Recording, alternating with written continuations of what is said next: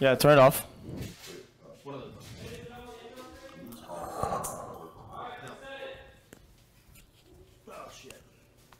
Yo.